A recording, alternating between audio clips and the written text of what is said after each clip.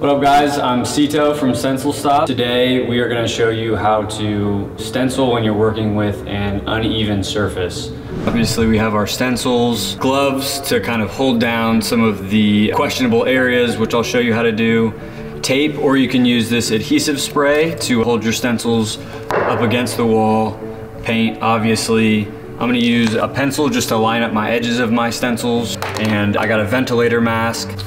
So this is the spot on the wall that we're working with. First thing you kind of want to do is just make sure there's not any dust or debris on the surface that you're going to be painting. So I'm just gonna make some marks on the wall. I'm working with, with three stencils that I have to align over each other to create this image, what we call layered stencils. I'm just gonna go ahead and make some marks. That looks pretty even, pretty much where I wanna have it. In terms of putting your stencil up against the wall, you can use an adhesive spray. They come in little cans like this. And usually they're temporary. Sometimes I found that they leave a little bit of residue. Use those if you want to. I would say do your own experimentation. Or you can just use painter's tape.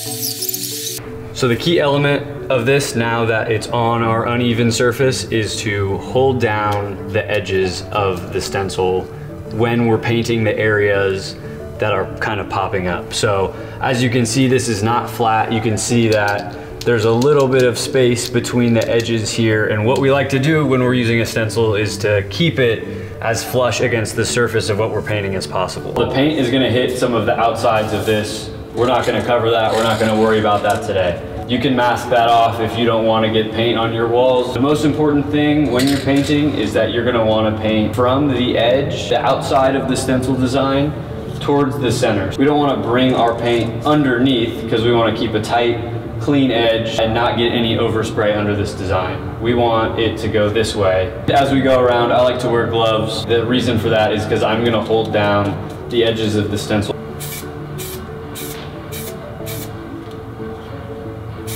And as I'm painting, I'm just gonna work my way along with my hand. You don't need to wear a glove if you don't want to. You can get paint all over your hand. You can use a stick or any kind of object really that you want to use. Just going from the outside into the center of this design. Trying to hold down all these parts that are sticking up. And when I'm painting, I like to be about, I don't know, what is this? A foot, 10 inches away from the surface of what I'm painting. You don't really want to be spraying and, and seeing any drips with your, with your paint. You want it to be kind of like a light dusting like this. And that way it dries faster too. So we're just gonna peel it like that. So now I'm gonna use a heat gun to just dry this off for a minute or two in between layers. You can let it dry naturally. You can use a blow dryer. It's on a tripod because I use it for canvases. And so rather than having to hold it every time, I will just turn it on and then let it hit the canvas while I'm doing something else, grabbing my other color of paint. We're just gonna use it right now with the tripod and see how long it takes to dry.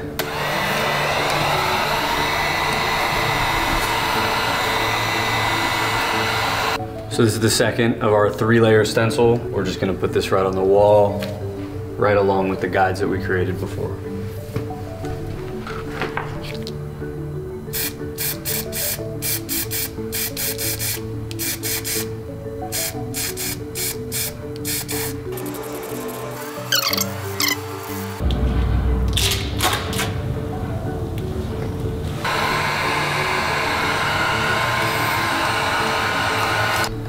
This is the third and final layer that I'm going to be placing on the wall to complete our design here.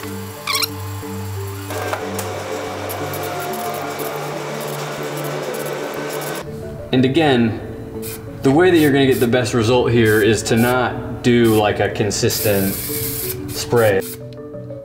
You want to spray gently as if you're dusting the stencil you're barely getting any paint onto here. We don't want to see any wetness, any dripping, anything like that. We want just a very light, very gentle amount of paint to get onto here.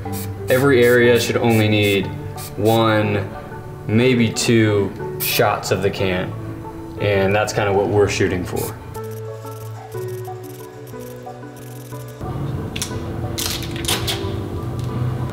As you can see, this area right here is probably the area of the design that came out the dirtiest, I would say, due to the, the level of detail in that last stencil paired with the kind of level of unevenness with that particular part of the wall. A couple ways to handle that in terms of fixing it for your projects.